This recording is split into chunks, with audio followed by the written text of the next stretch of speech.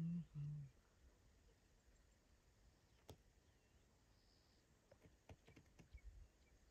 Do they mostly identify their prey through sight Yeah, or yeah, in a distance. Actually, they got a very good eye vision. Uh, hmm. they can see in a distance. Oh, look at the teeth. Yeah.